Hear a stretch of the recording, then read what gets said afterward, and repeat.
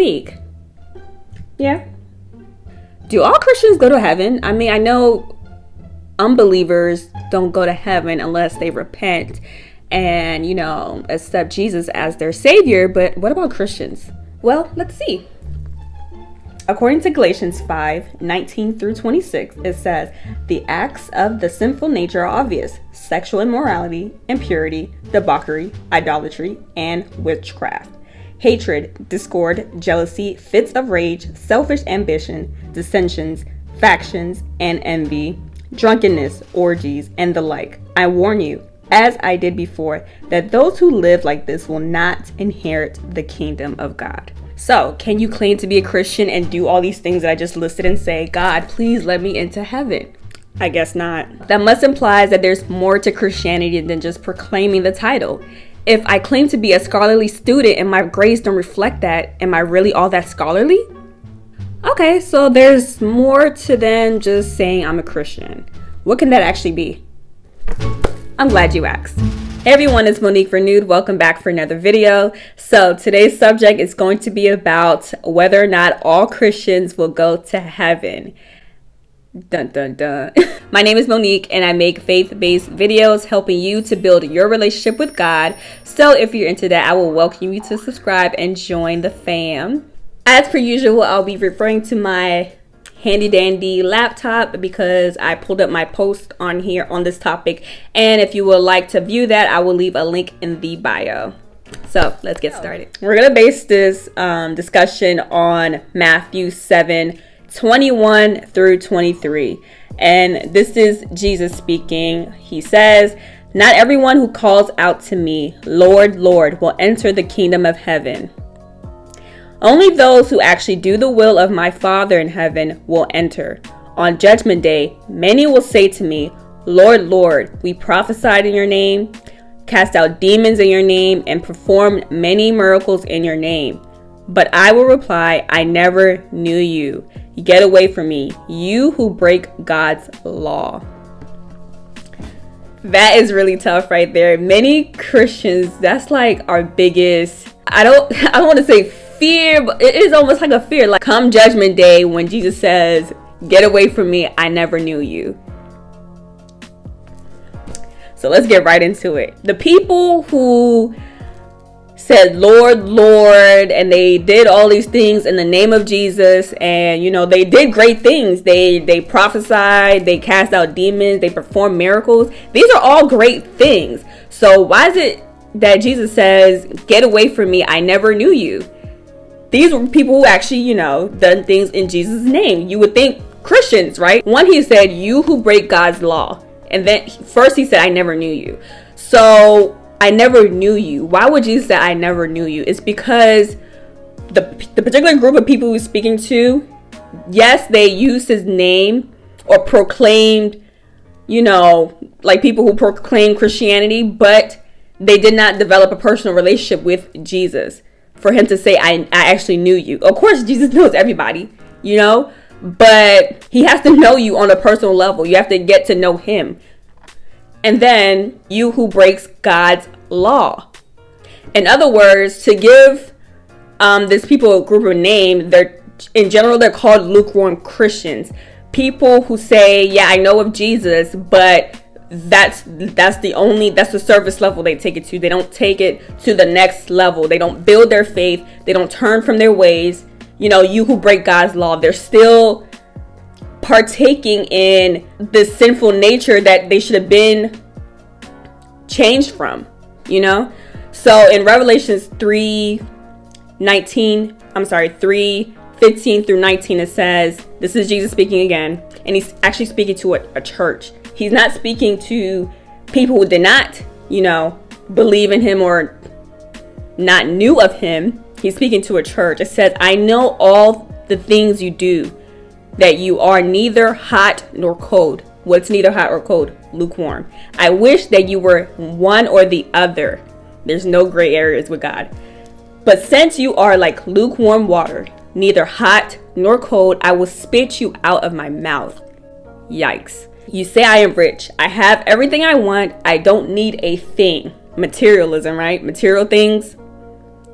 What about the things that aren't material. And you don't realize that you are wretched and miserable and poor and blind and naked. I advise you to buy gold from me that has been purified by fire. Then you will be rich. So this is not monetary type of rich. Also buy white garments from me so you will not be shamed by your nakedness. White garments. It gives a sense of purity or holiness. Ointment for your eyes so you are able to see. Ointment for your eyes. That gives a sense of once living in spiritual darkness, but now being able to see with the light that Jesus Christ provides. I correct and discipline everyone I love. No good father is going to keep allowing you to do everything that you once did before that was not right. Be diligent and turn from your indifference. Indifference is almost as bad as just having nothing to do with him in the first place. That's that's suggesting it's almost as, as bad because he wants you to turn from that. So, what everyone who says I am a Christian, proclaims the title of Christianity, will enter the kingdom of heaven. It's pretty clear here that the answer is no. So we just seen in the Galatians text, um, chapter 5, where it lists a bunch of acts of the sinful nature that will not inherit the kingdom of heaven. You have to think about it. Heaven is perfect, right? So it's not going to allow witchcraft. I made a video last week about New Age spirituality and its parallels to witchcraft if you want to check it out.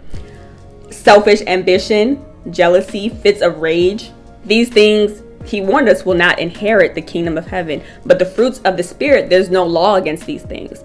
So, love, joy, peace, kindness. This is the type of fruit you need to bear in your life once you accept Jesus and you have a personal relationship with Him. You can't say, I'm saved, and then exhibit no change at all.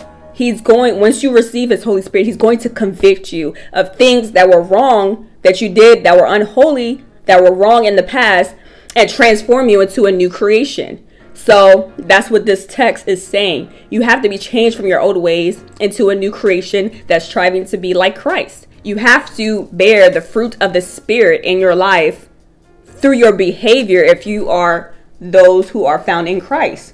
Your sinful nature has been crucified. Now, does that imply that you must be perfect at all times 24 7? No, God knows we can't be perfect. We're still in this sinful flesh, of course, um, until, you know, we get our new glorified bodies.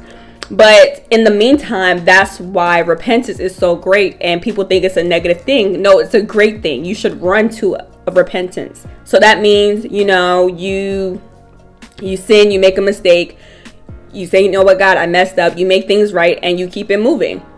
He doesn't expect you to be perfect. That's not what this is about. But he does expect you to exhibit change in your life and not to be the same sinful person that you once were, to experience no change at all. Having a personal relationship with God, with Jesus, means that you're going to be changed. You're not going to be the same person as you were before. If you are, then how can we tell the difference between somebody who claims to be a Christian and somebody who is not a Christian? Where's the differentiation between that? There is none. And that's the thing that differentiates between Christianity and other religions. Uh, many will say, well, why do you think Christianity is the right way, is the only way to, that leads to God? Well, you have a personal relationship with Jesus. This is not just superficial, it's actually personal. It's real and it's interactive.